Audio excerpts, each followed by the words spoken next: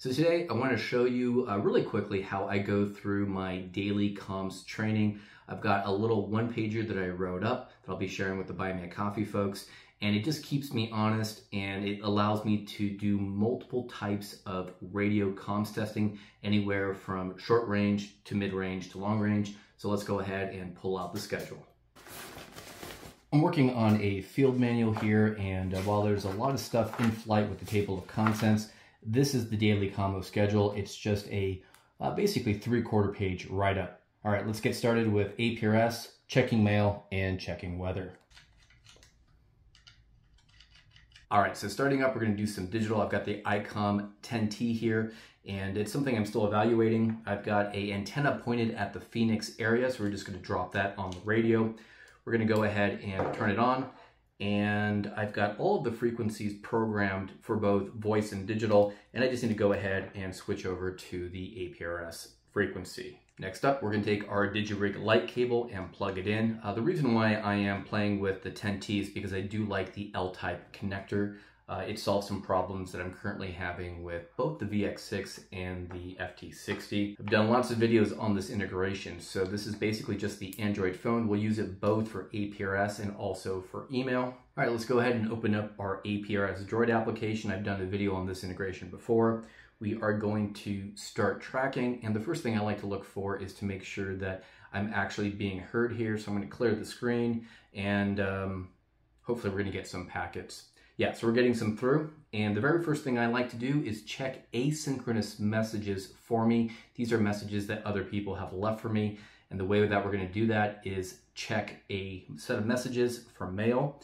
And I'm just gonna put in APRS M and hit OK. And now we're sending out this packet and it's basically gonna make its way into a DigiPeater in Phoenix onto the internet ask that gateway to service, hey, do you have any mail for KT7RUN? And there we go. We already got a message back right away. It's from my buddy Mike who's traveling. It says uh, KC8OWL in Pittsburgh testing VX6 and Mobilinkd. So he is all the way across the country and he has a very similar setup to what I'm doing here. So great way to establish comms with him. So I'm going to respond back to him and leave him an asynchronous message that he can check at his leisure. So we'll put the at symbol, KC8 OWL, and I'll just put uh, Roger, be safe. I'll check in tomorrow. And then we'll send that off. And uh, packet can be a little bit flaky. There can be collisions. We're gonna go ahead and wait for this to turn bright green, and then we're gonna go ahead and check some weather using the same application. All right, so it went bright green there, so I know that when he goes to do the exact same thing I did and use the APRSM uh, request that he'll be able to get that message. And it also looks like a couple of other messages came through from Friday. So shame on me for not checking in. All right, next up, we're gonna go ahead and check the local weather. Uh, there is a special uh, SSID called WXBot, and all we have to do is craft a message to it. I'm just gonna put my call sign in. It makes things really simple, and it'll actually do a reverse lookup and return to me the local weather in my area from where I have my FCC license registered. I could also put in a zip code there and a few other options. I have made field cards for the Buy Me a Coffee folks on uh, some of the basics uh, so that you could have that as a reference. All right, guys, so that took about three attempts, but uh, today is going to be mostly sunny, high of 105 degrees Fahrenheit. All right, we've got a net that's about to start in two minutes, so we're going to have to change the order and uh, jump down uh, just a bit. As part of my weekly schedule, we have a net on Tuesdays and Thursdays with our community emergency response team. I'm running the uh, Anytone 578 Manpack. Good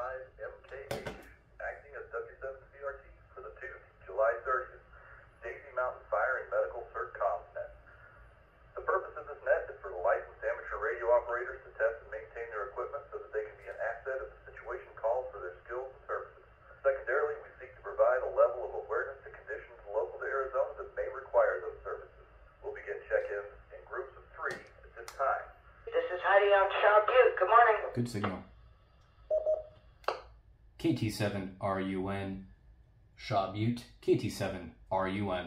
Confirming Heidi, KK7SXB, Gaston, KT7RUN, and Donnie, W8DSF, all three out of Shaw Butte, and all three sounding fantastic this morning. KT7RUN, any traffic for the net this morning? no traffic, back to net, KT7, RUN. So my favorite part's coming up, it's the situational awareness report, and this is stuff that's impacting myself and all the members in this group and area. For Ready, Set, Go or Red, Yellow, Green, there are currently no Ready, Set, Go or Red, Yellow, Green orders within the state of Arizona. The Southwest Area Complex Incident Management Team 4 assumed command of the Sandstone, Deer, and Davenport fires near Fountain Hills on Monday, July 29th. We'll have a slight chance of monsoon thunderstorms beginning late on Thursday through the weekend. Sandbags are available at Daisy Mountain Stations 141, 143, and 146. All so we're a bit behind schedule. Usually I would do WinLink after APRS. So all we're gonna do is switch over to the WinLink frequency in my area. And this is on 145.710. We're still using the DigiRig Lite. And I've shown how to use the WinLink on Android application. And we're just gonna go ahead here and go to sessions. We're gonna go to my DigiRig Lite session and we're gonna go ahead and click run there and we'll see if we can get connected up and it looks like we're already connected. We have an initial exchange going. All right, so that connection's done. We'll go to my inbox and it actually looks like I have one message and it looks like it's from my buddy Mike, KC8OWL.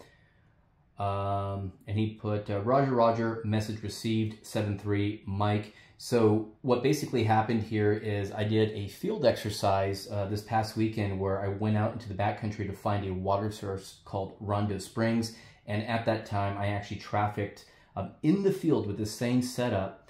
Uh, let's see if I could have it there. Yeah, I trafficked my coordinates in UTM and I was basically able to give him a quick sit rep. All right, so apologies for doing all of this a bit out of order. It doesn't matter too much because my buddy Mike is not actively sitting on the radio. Uh, typically, we would go to 40 meters voice and uh, basically do a 220 mile communication with zero infrastructure uh, taking advantage of something called NVIS propagation. We'll also go ahead and switch over to this radio that we use for the CertNet and try the Intermountain Intertie, which is a linked repeater system.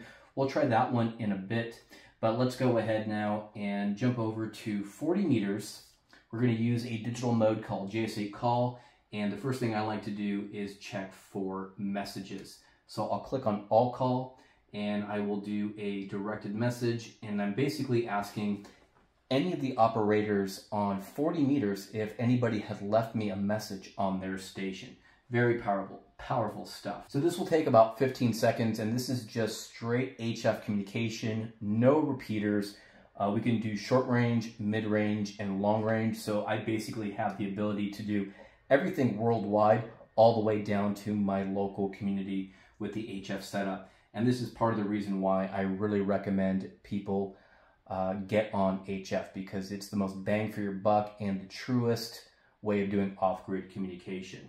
Oh, and it actually looks like I have a message here uh, from a station I've never recognized, Kilo Foxtrot Zero, Oscar uh, Charlie Zulu. All right, guys, so the way this is going to work, we need to click on this station's call sign and pass in the message ID of 363. So we're going to do right click, directed to, and we're going to query for a message by ID, and then we're going to enter in 363 and hit send. It's going to take 30 seconds for this to go off. All right, guys, so we finally are getting a message back. It looks like 50 watts to do the trick. And again, this is going to take a little bit of time depending on the message.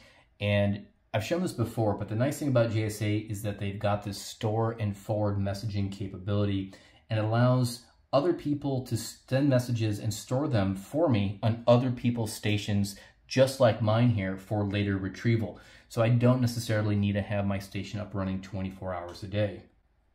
All right, and this one is kind of garbled. There's some dots there. Uh, it says station up, loved. A couple things here. Uh, this is HF communication. I'll have to see the distance between myself and KF0CZ. But uh, you can see all of the little dots here means that it got garbled uh, over the air and uh, basically got a partial copy, station up, loved, dot, dot, dot, from it this evening, dot, dot, dot, URL, etc, uh, see my, dot, dot, dot, bounce messages. So I don't even know who it's from. Uh, what we can do, and I don't have time for it today, is we can always go and uh, basically do another directed message and we can do an again here. And it, we're basically gonna ask this other station to retransmit again. Now we can wait for later on today, maybe propagation conditions have improved. But either way, we have this mechanism. In general, it works. Like I said, I've never worked with this station before, but uh, you know, that's how HF goes. So I typically do this at 6.30 a.m. We're going to transition over to the Intermountain Intertie system, and I've got a few different nodes here that I call Northlink 1, 2, and 3.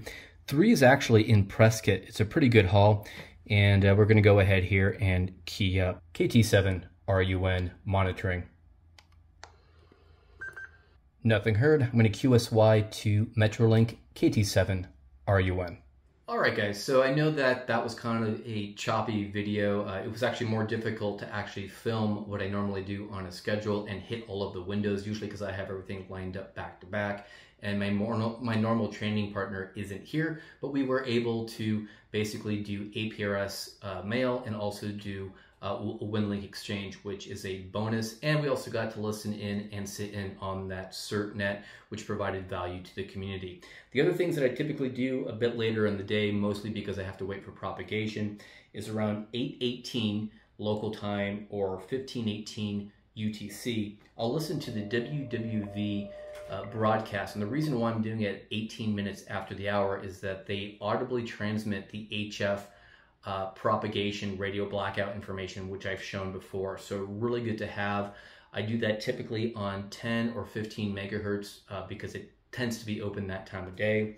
And then at 10 a.m. local time, 1700 UTC, I'll actually also tune my radio to a WWV uh, AM broadcast and then use a tool called clock.exe to essentially set my clock based on the digital coded transmission because it's very important for a lot of the modes.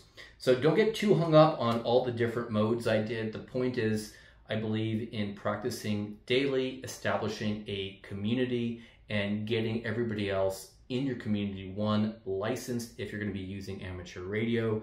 Uh, if you're using the business frequencies or MURS or FRS, that's a different story and uh, more open.